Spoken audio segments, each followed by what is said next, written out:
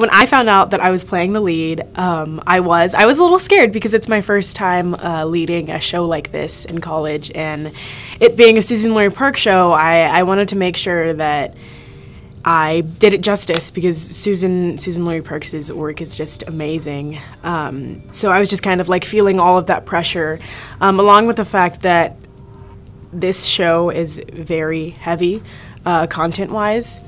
But all in all, I was I was excited to take on the role, and I knew that it was what I needed to to properly challenge myself.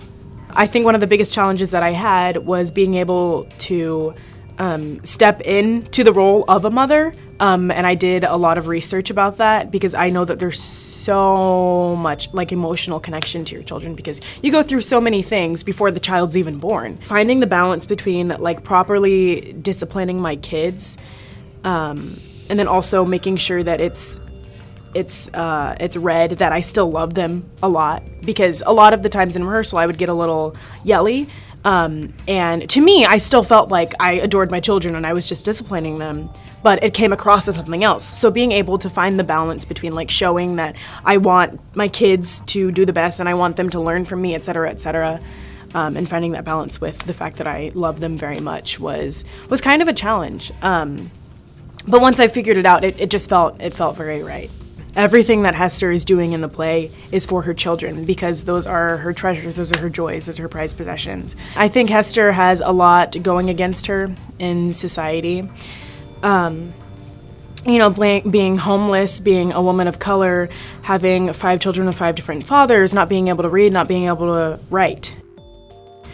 So all of those things are also going against her at the same time, but she's trying so hard to be um, to be there for her kids and give them the best life that she possibly can, but that doesn't always work out for her. There's a moment in the scene with welfare where welfare kind of says, "We put you in school, we put you we put you in a job, but you keep quitting these things. We're trying to help you. Let us help you." And Hester uh, responds with, I don't like the shelter. They hassle me. They are stealing my stuff. They're always touching my kids, etc., etc.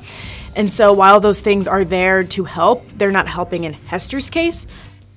One of the biggest reasons that I do theater is to provide to provide someone to take a look into another person that is not like them, um, because we don't always get to see that, especially um, especially if you have privilege. You know, you're not you're not going to be interacting with people that are struggling the most quite often. Lets people kind of like look into that and look into who Hester is as a person.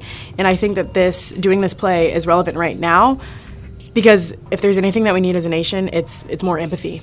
Um, and I think that doing work like this, especially with characters that are so vulnerable and that you can just step into and kind of discover their world, is very important right now.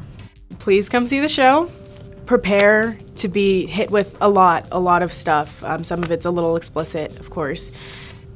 I would just come in with as open and clear of a mind as possible. It's a lot, but I think that it will open your eyes about a multitude of things that our world and our society should be looking at closer, and we need more empathy in our world. So.